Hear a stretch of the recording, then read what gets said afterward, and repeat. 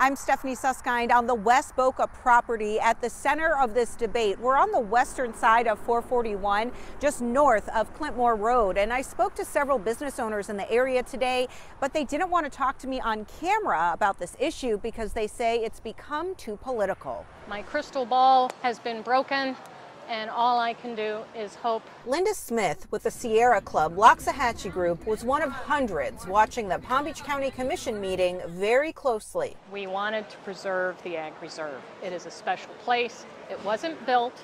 It has good soil. It has good climate. It has good features for water retention already naturally built in.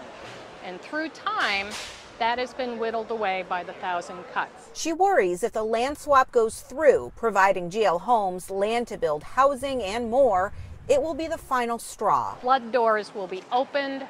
We will become just like Broward, which is, I believe, about 100% built out at this point. Is that where we want to live and raise our children and grandchildren? But others don't see it that way.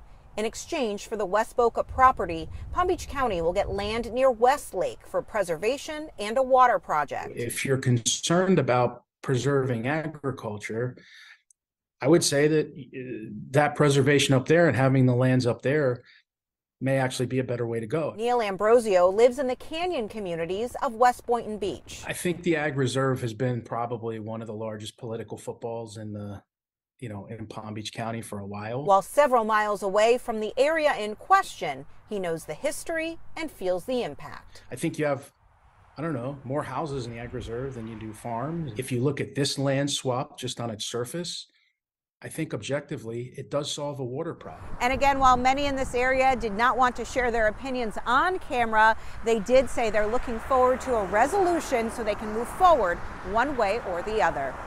In West Boca Raton, Stephanie Susskind, WPTV News Channel 5.